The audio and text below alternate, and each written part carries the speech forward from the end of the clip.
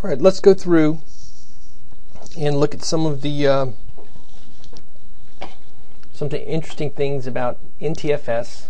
First thing we want to do is start center. We'll open the disk. Let's do a logical.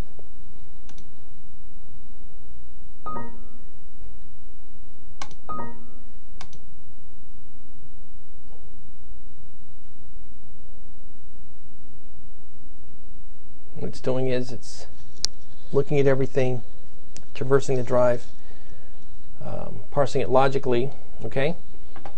And so if we want to, we can see that these are the files here in the root directory, the files and the uh, folders. And once we get down to here, you notice that we have the systems files.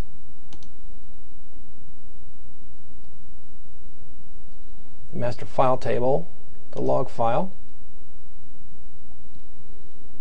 and then all the other files that are located within the root directory.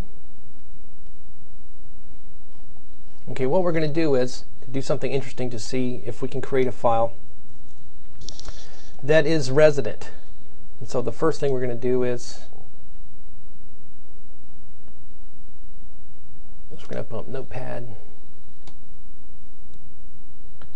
and we're going to create a file and we're going to call it Cave Diving USA.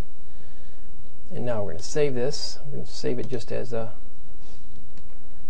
uh, let's call it MFT demo.txt.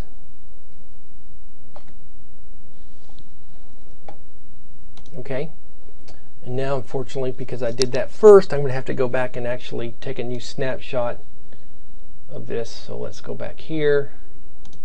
Start Center. We're going to open it again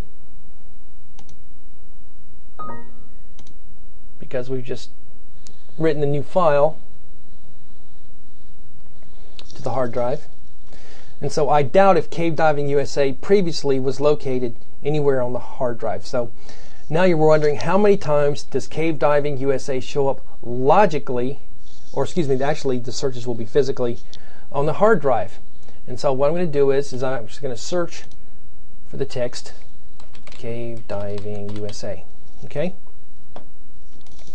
We'll limit the searches to 50. There won't be that many, but there'll be some. So I'm going to have to stop this uh, recording for a while because this can take about 20 minutes to go through the hard drive or longer. Uh, so we don't want to just keep that on the screen. So I'm going to start searching.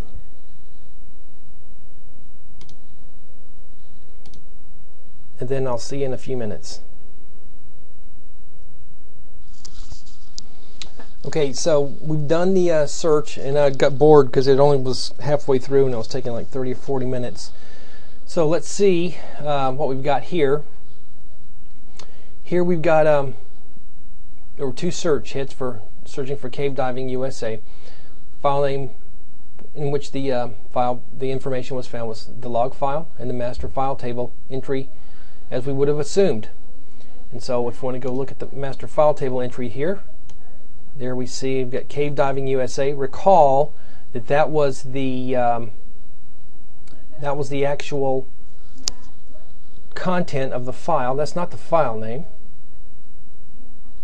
There's the file name right here, MFT demo.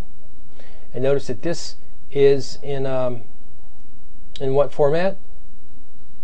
In Unicode. It doesn't show the dots there, but notice there's a space in there. So MFT demo was the name of the file. Cave Diving USA, because it was a text file, it stores it exactly as it's supposed to.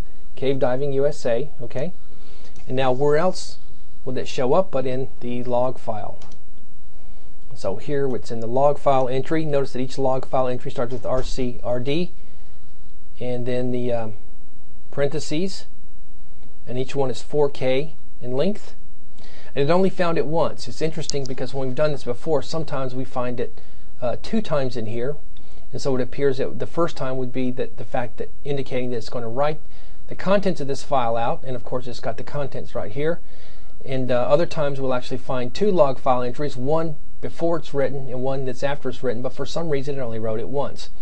Because in, uh, NTFS is a closed file system, that is, there's no access to the source code, that um, the, we can only speculate as to how this log file is working. So anyway, that's the way that worked. So that's just something that uh, you can play around with and see how many times that um, you know, let's say copying and pasting uh, something or copying a file or deleting a file. How many times does that file name or how many times did that uh, the contents of a file show up in the log file or in the master file table? So anyway, that was a brief demo of uh, some of the nuances of uh, NTFS.